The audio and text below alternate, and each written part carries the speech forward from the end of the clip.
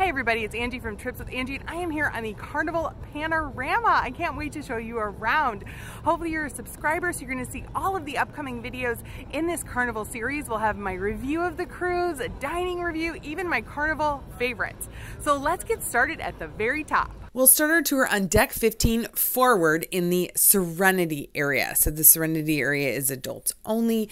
It has these upgraded furnishings. You see the padded chairs as well as the little half dome kind of cabana couch types. Now, this area was very popular during our cruise. On our cruise, we had 1,900 kids on board out of 4,900 passengers. It was more than 100% full because those third and fourth bunks were full. So, a lot of people were headed up here to escape the kids. It was a, a school break week in California, and the Panorama is currently sailing out of Los Angeles. So, that's why it was so busy. But up here in Serenity, you're going to find Fresh Creations. This is only open on sea days, and it's the best salad bar on board. So you have your choice of lettuce, your choice of proteins like hams, anchovies, chicken, then all the different kind of veggies you can use to make it. Yep, that's even pasta there if you wanted to make a pasta bowl. The Serenity area has its own bar and then tables and chairs where you can sit and eat your fresh creations and lots of seating. I think they did a really good job uh, making this a large area because there are a lot of people that want to come here. They do have the umbrellas here at the front of the ship or again those half domes that can provide some shade. Now it does get very windy here while you're sailing, so keep that in mind. Uh, it can make eating your salad a little difficult. Now this this side is basically the same as the other side. So it forms a complete U around the front of the ship.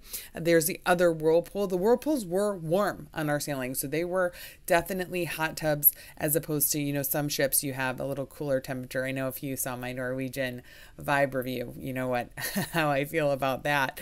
And then another shower and then bathrooms are in this area as well. Now, this side, I have to warn you, if you sit on this side, which is the starboard side, you do hear screams screams from the slides as well as from the splash zone down below. So it's not quite as serene as you get closer and closer to the water slides here that are a little more midship.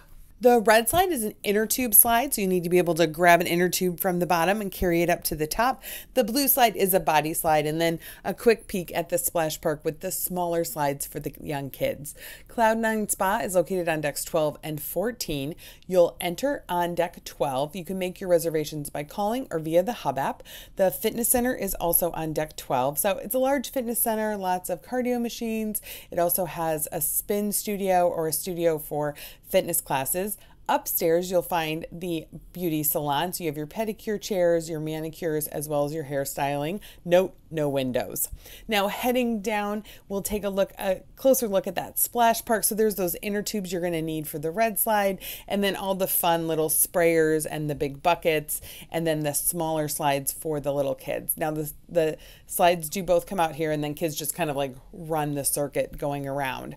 Having a look here at the main pool area. So this is where the movie screen is. So they have movies uh, dive in movies so you can watch a movie while you're in the pool, and then the chairs are kind of set up to watch the movie as well. Heading in towards the center sports area, the ship is kind of has these little zones. So you had the zone with the splash park and the water slides. Now we're heading towards the middle where you're going to find the sports court, the ropes course, a lot of the outdoor activities that aren't water activities are all going to be here in this center. This is also where you're going to find your jogging track. So this goes around the deck 12. Please follow the arrows as you're making your way around. Uh, one mile is going to be seven laps. So it's a pretty good size uh, jogging track. I don't know if you saw my Crown Princess video, but I think one mile was like 20 laps on that uh, that ship. You have your foosball machine, and then coming around here, you're going to find your mini golf course. And if you head up the stairs, you'll find Skyride. It's kind of like a, a bicycle track in the air. You need to be at least 52 inches tall and weigh 250 pounds or less. You can also do the ropes course from up here. Now, the ropes course is only 48 inches tall. Now, all of these are going to require closed-toed shoes and dry clothing. So make sure you have that. There's been a lot of disappointed people online in the Skyride when they get to the front and they don't have those shoes. So here's a closer look at that ropes course, kind of walking around the, the top upper deck of the ship here, holding on to the different ropes and handholds you do just line up for this. There isn't a reservation or anything like that. Down here, you're going to find the mini golf course, and some of the mini golf holes are up near the Skyride and Ropes course entrance. So if you can't quite find them all, head up those stairs again. This is free and included. Just, you know, come up and grab golf clubs and a golf ball. You have the two pool tables there, nice little seating area if you're waiting for somebody who's going on one of the rides. And then inside you have the clubhouse. Now, I really like that they did this because it can be raining, it can be really windy. So it's nice to have an indoor space. Now, look, you're going to have to hit that button to get into this door. So keep an eye out for that. You can try to yank it open, but it's very heavy. Inside we have a couple foosball tables that are are available, you know, to anybody any time of day. You have the ping pong table. Uh, how many of you have tried to play ping pong outside on a cruise ship? Let me know in the comments. It's a little challenging. Uh, you have two more ping pong tables, and then they have this interesting game that I hadn't seen before where you kick the balls. It's like pool, but you kick the balls instead of using a pool cue. Down to the side there, you're going to find a stairwell that heads down to the Camp Ocean area. So they have the three different groupings of kids as part of the included Camp Ocean program. On the other side of the deck, we'll find more chairs and seatings. Now, if you remember, the Vista originally had a hot dog cart up here. We were sad to see that go. Uh, the uh, fun little take on ping pong there, almost like a four square if you played that as a kid.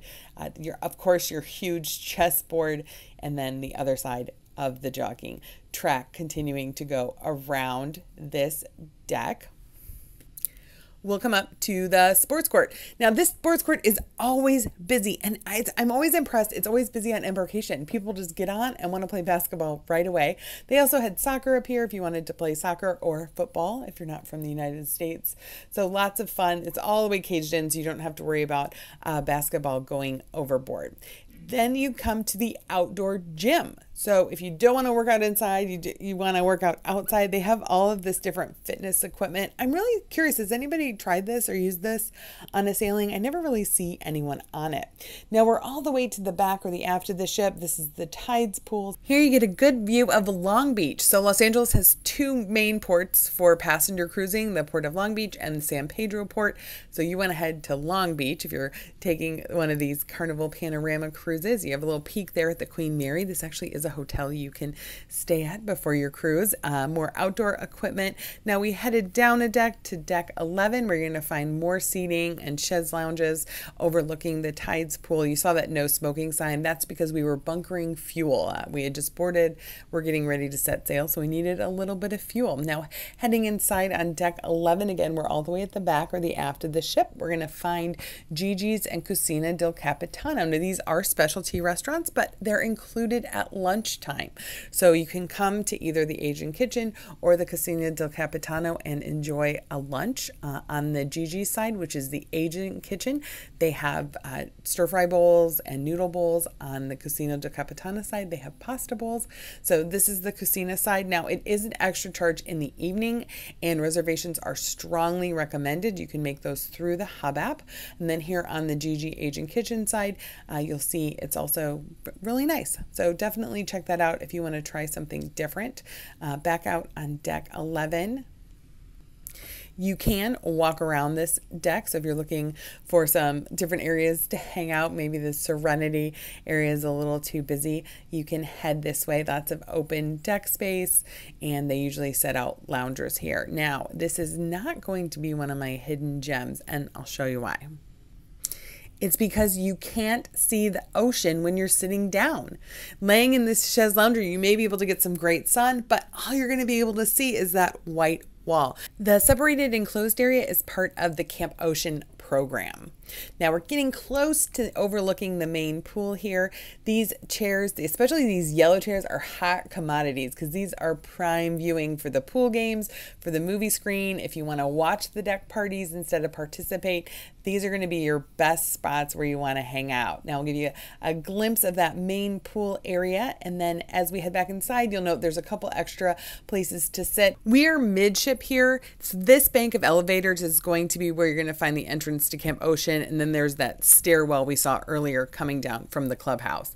Now we're down on deck 10, the main pool area where all the fun happens throughout the day. So on this side, we'll find the Blue Iguana Cantina. It's open for breakfast and an extended lunch. On one side, you can get burritos, and then on the other side, you'll be able to get huevos rancheros in the morning and then tacos in the afternoon. They have a great toppings bar, so you can customize it with all your salsas.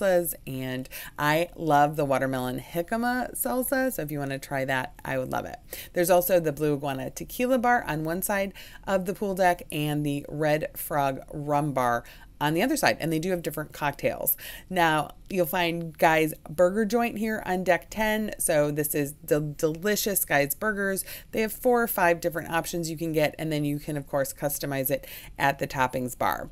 Heading back towards the back of the ship, we're going to find the Lido Marketplace, which is the buffet. I love these hand washing stations. I wish more people use them, frankly, but makes hand washing super easy. If you have any food allergies, you're going to look out for the Menu Mate stand on the starboard side side. They'll be able to walk you through the buffet, talk about any allergens that may be in the food items and what your best bets will be. So the, the front section has a wide variety of different options. Now they're all the same. So each station has the same food. So you don't have to wander around the whole thing. You're going to be able to find um, the options in one spot. So this the gelato is do not miss. So find the gelato. It's freshly made every day and they have an incredible toppings bar. And then of course you have your fruit. You showed the salad before. Lots of seating available throughout the buffet. High tables, low tables. A lot of people play games. Now, in the back, it is a different menu. So, this is the comfort kitchen menu. So, this is where you're going to find more of your like pot, baked pastas, mac and cheese, different things like that. This is embarkation. That's why it was a little crazy. You'll also find the secret staircase to JiJi's and the deli. So, the deli was open from I think 11 a.m. to 11 p.m. during our sailing. You can order hot and cold sandwiches. It's all included. You'll behind it, you'll also find another salad bar. Heading out to the Tides pool that we looked at from above, this is where you're going to find the pizzeria to get your pizza fix. So it's made fresh right in front of you. You can special order or just take a slice of what they have available. So in, for included beverages, you have water, of course, iced tea, lemonade, and then some juices in the morning. So when you're around for breakfast. Down here at the Tides bar, we have that whirlpool as well as the Tides bar, and then a pool to swim in and another whirlpool. So plenty of whirlpools on board if that's your thing. The today's catch is signaling that here we're going to find the seafood shack. Now, this is an extra charge. Everything here is an extra charge. You can pre order in the Hub app. So if you see a line there, you might just want to sneak in an order on the Hub app. And then they have different daily pricing based on the different seafood that you want to order. Now, let's head down to deck nine. For the elevators, you press what deck you want to go to, and it will give you a letter to stand in front of. And that letter will flash to kind of help you find the elevator. Then, once you get on board, you'll see on the panel what floor you're going to. So we are headed to deck 9 to cabin 9292. This is an 8E balcony cabin. You do need a card to turn on the lights. It doesn't need to be your room card, so you can use any card you may have available. As you enter the cabin, you'll note this is set up as the two beds pushed together. Otherwise, it would be two individual twin beds. To the right is the closet area. The cabin had plenty of storage space. I was really impressed. So you have a two-sided closet with a full-length mirror, plenty of hangers. You can actually take them off the hooks. One side is for kind of full-length clothes, and then the left side you can pull down and make it a shelf or have it just be shorter items that you can hang up. So kind of your preference. Then in the bathroom, it is a small bathroom. I mean, we still are on a cruise ship, but it's a handheld shower spray, so it's nice and high. The water pressure was okay. It wasn't great. Then you have your sink with the set of three shelves on either side and then that magnifying mirror, which I thought was a very nice touch. You have your sofa and this really odd floating table that we didn't quite know where to put it. Uh, you have your desk area. You have three shelves there for all of your sunscreens and different items. You have two North American plugs as well as two USB plugs and a European plug. Then you have a very hard to open mini fridge. This would keep beverages cold. This would not keep medications cold. You would need to contact guest services for a different fridge for that. Your hair dryer is located and attached through the middle drawer under the desk. You have a nice sized television, then your bed area. So there are nightstands on either side of the bed. This does not have outlet. So you still need an extension cord if you have a CPAP machine, but you can turn on and off the different lights. There's a light switch over the bed to turn off the main lights, and you get your towels when you first come. So just remember to check in and check those out. And heading out to the balcony, it's a decent sized balcony, uh, very easy for both people to sit on the chairs, and it's pretty private. There wasn't any, we couldn't see the people next to us, we couldn't see the people above us, and there's a little bit of shade there from the overhang. Now, looking down, you'll see the tables and chairs on deck five. Now, heading down to deck seven, we're going to find the Sky Zone. So, this is the indoor trampoline park. This is an extra charge. They have different times based on ages and what they're doing. So, they can set this up. They can set it up as basketball, they can set it up as dodgeball. Now, going down to deck six, we're going to find Club O2. That's the club program for the teenagers. So, heading inside, it's basically just designed as a cool lounge for folks to hang out. They do have gaming consoles. Uh, this is going to be great if it's raining or you know you want to get out of the sun. You don't want to go down the water slide one more time. So they have, and then they have it set up basically for karaoke. Circle C is for ages two 12 to 14 that's right next door and you'll find a very similar setup here so again it's kind of set up as a lounge for people to hang out there's gaming stations uh, to play different video games they also have organized supervised activities um, and the area where they can kind of do their karaoke or watch a movie so it really just depends on what the kids are interested in and what the camp counselors kind of have in store for them during the sailing. There will be a schedule just for them.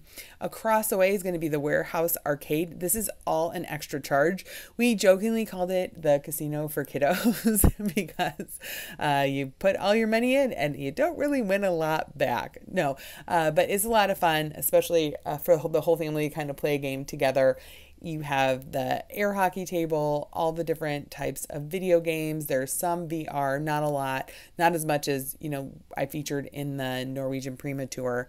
So these are more kind of old school video games. And of course, you have different claw games um, if you want to try to win specific prizes. Heading down to deck five in the after back of the ship, we're going to find the Havana area. So the Havana area has two different parts. So the front part is open to anyone, and then the back pool area, which I'll show you in a minute, is only open to those folks who booked a Havana cabin. So it's a special exclusive area for people who book Havana cabins. But as you enter the Havana area, I love the theming here. You definitely feel like the Cuban vibe. There's tables for dominoes, lots of cool places to sit and enjoy the live music. There's a Latin band that plays here every evening. You also have this great bar in the back. There's specialty cocktails that are only available here at the Havana bar.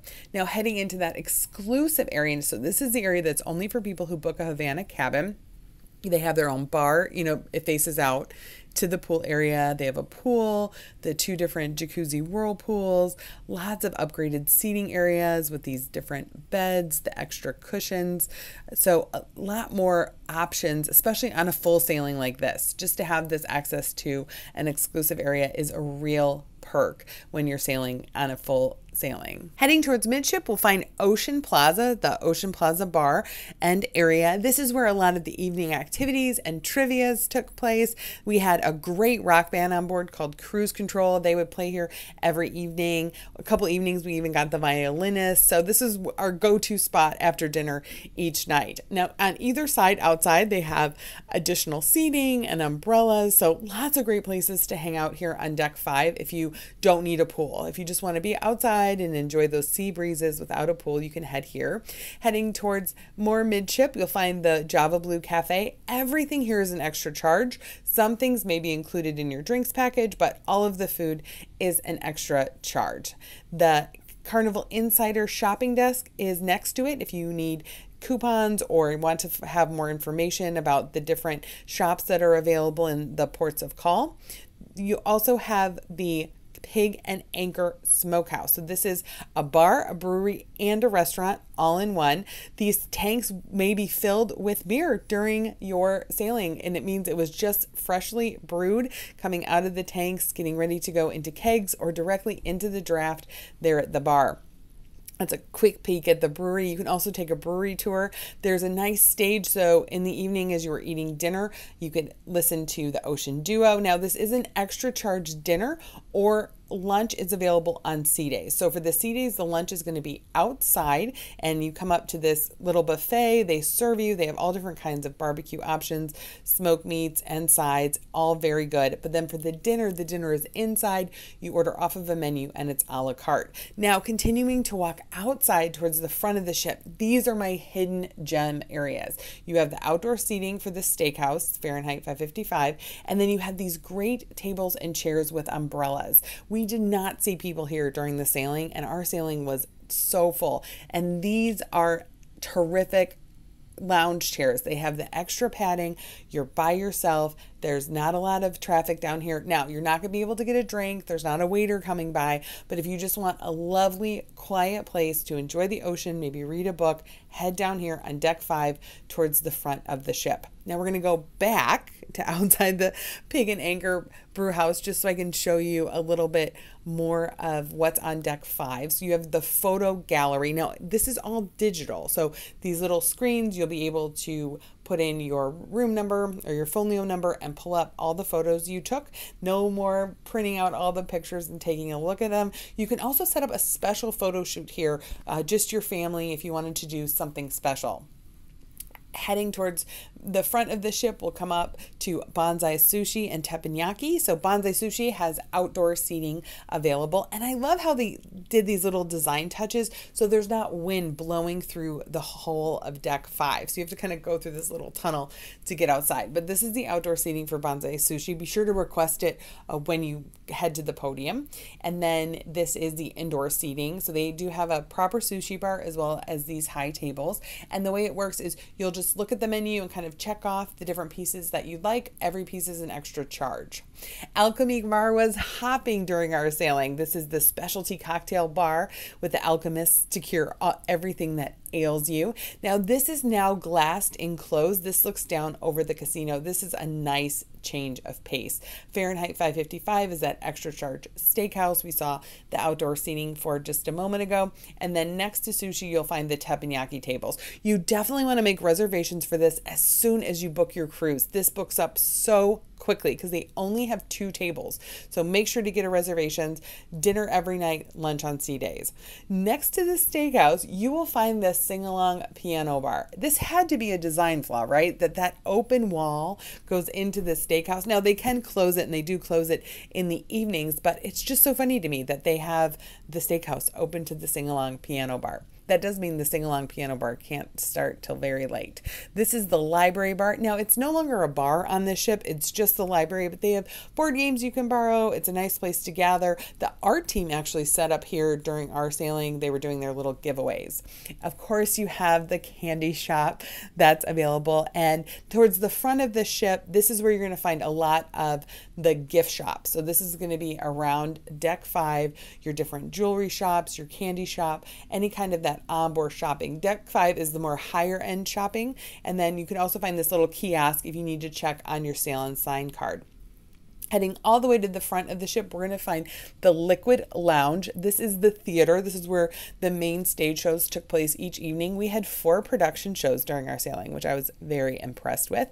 Heading down, we'll take a peek at Deck 4's seating. The floor seating, it's very hard if someone tall sits in front of you, but they have a little bar tucked in back uh, down on Deck 4. So if you want to sit at a bar and watch a show, that is an option here on the panorama. Now we're going to pop all the way down to Deck three, and we'll come back to deck four, don't worry. Deck three, you'll find the guest services where there usually is a line, and I'm not sure why. The atrium bar, this is always hopping, and your shore excursion desks. You can do a lot of the shore adventures booking through the Carnival Hub app. Uh, you don't have to do it at that desk. And then as you curve around, we're going to find the Horizon restaurant. Now, the Horizon restaurant was the restaurant for people who had set dining time. So we had an 8:15 dining time, and we headed there.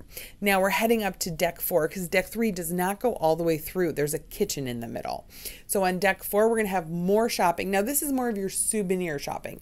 Deck five is more of your high end jewelry shopping. Deck four, you're going to find more souvenir items just to kind of orient you when you get ready to do all of your shopping. The stage for the performers that face the atrium bars up here. There's a DJ there. The violinist played a lot. The guitar player played a lot um, into the atrium as people were kind of waiting to go into the Horizon restaurant for dinner. And then you have that seascape that changes throughout the cruise. And then you can see this is kind of your carnival themed uh, souvenirs. Now, heading towards the back of the ship, we'll come across the casino. The casino has smoking and non smoking sides. The ventilation was pretty good. I mean, there's only an aisleway separating the smoking from the non smoking, but it wasn't wasn't too smoky. Now, if you tuck in, you'll have to find the carnival kitchen. So, this is where the cooking classes are located. They're just behind the casino and on the port side. You have a long table here where they kind of orient you to the class you're going to take. You can book these in advance, they are an extra charge. I recommend booking them in advance. Some people had some issues with it being overbooked. You get a station, so it'll be like two people and two people, each with their own burners and set up, and then the chef stands here and demonstrates the different food items. So you can see now, if as you come towards the back of the ship, you want to take a right at the elevators. Behind this, as we again heading towards the back of the ship, we're going to find the Heroes Bar. This is the sports bar dedicated to people who have served in the military, and it has the different games. It has some special cocktails, a great spot to hang out. There's definitely a crew that hangs out here every cruise. So if you want to kind of make some friends, this is a good spot to go to. And they have incredible memorabilia and tributes along the wall. So definitely, if you don't want to hang out here, definitely take a peek at everything along the walls. Continuing to walk towards the back of the ship, we'll find the Limelight Lounge. This is where the comedy took place. So there was different comedy shows every evening. You do need to line up. It does tend to fill up quickly. It also turned into a nightclub uh, in the evenings. So comedy, and then the DJ would take over. All the way at the back, we're going to find the Vista Restaurant. So this is the two-story, covers deck three and deck four restaurant. This was for anytime dining. So when you would go into the Carnival Hub app, you can ask to be added to a table, and then it will tell you what the wait times are, and you'll be here in the beautiful Vista. Now we're going to head down to deck two to check out the Family Harbor area. So you can see the carpet even changes as you head into the Family Harbor. This is very similar to the Havana. This is a special category of rooms that comes with a little extra perk, and that perk is this lounge. You'll have access to the Family Harbor Lounge down here on two. It has a buffet available, making it so easy. Just pop out of your room, grab a snack if you need it, and then it has these great area lounge areas. So if you wanted to get together as a larger family, you can hang out there. It also has, you know, your coffees, teas, and included beverages. You can see the hours here. They have your breakfast, afternoon snacks, and then evening cookies. So that's the Carnival Panorama. What did you think? Let me know in the comments.